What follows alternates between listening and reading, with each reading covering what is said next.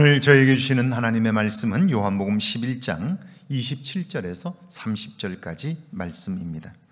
이르되 주여 그러하여다 주는 그리스도시요 세상에 오시는 하나님의 아들이신 줄 내가 믿나이다. 이 말을 하고 돌아가서 가만히 그 자매 마리아를 불러 말하되 선생님이 오셔서 너를 부르신다 하니 마리아가 이 말을 듣고 급히 일어나 예수께 나아가매 예수는 아직 마을로 들어오지 아니하시고 마르다가 맞이했던 곳에 그대로 계시더라. 아멘. 하나님의 말씀입니다. 할렐루야. 하나님께서 우리를 사랑하십니다. 사랑하시는 그 마음이 우리 안에 느껴지며 전달돼요. 그분 때문에 삶이 새롭게 풍요로워지기를 저 이름으로 축원합니다. 신은 디테일에 있다는 말이 있습니다. 지구라는 행성을 달이나 우주에서 보면 그냥 하나의 별입니다. 그런데 그 속에 들어가 보면 5대양 6대주가 있고 나라마다 다른 언어를 사용하고 서로 다른 문화 속에서 살아가고 있습니다.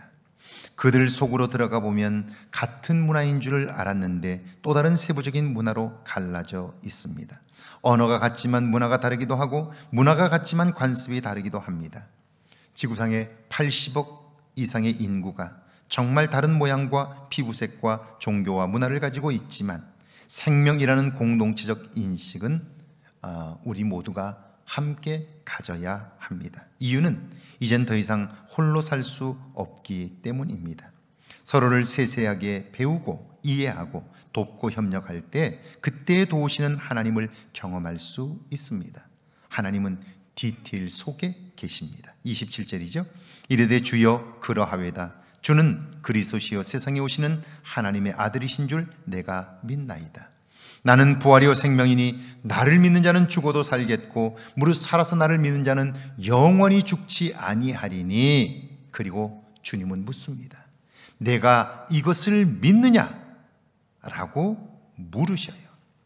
마르다가 대답합니다. 주여 그러하외다. 주는 그리스도시요 세상에 오시는 하나님의 아들이신 줄 내가 믿나이다. 그녀에게는 믿음이 있습니다.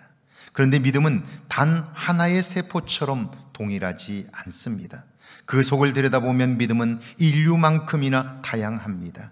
크기가 다르고 이해의 폭이 다르고 차원이 다릅니다. 믿음은 살아있는 생명 같아서 시간이 지나면 자라고 열매를 맺고 새로운 싹을 틔우기도 합니다. 그렇다면 마르다의 믿음은 어떤 모양, 어디쯤 도달해 있는 걸까요? 28절입니다. 이 말을 하고 돌아서서 가만히 그 자매 마리아를 불러 말하되 선생님이 오셔서 너를 부르신다 하니 마르다는 자신의 믿음을 돌아보고 예수님께 묻지 않고 그곳을 떠납니다. 마리아를 향해 예수님께서 너를 부르신다고 하여 예수님에게서 멀어집니다. 만약 마르다가 자신의 믿음을 고백하고 내 믿음에 관하여 예수님께 물었다면 그는 자신의 삶을 송두리째 바꿀 만한 말씀을 들을 수 있었을 것입니다. 기회는 항상 있는 것이 아닙니다. 기회를 살지 못하는 마르다의 모습에서 아쉬움을 느낍니다. 29절과 30절입니다.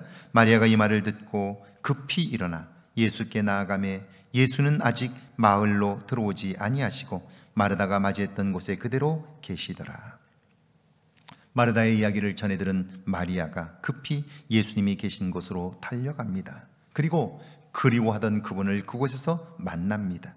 그의 눈에는 분명 눈물이 글썽였을 겁니다. 왜냐하면 마리아에게는 예수님을 자기 삶의 최고로 여기는 마음이 있었기 때문이죠.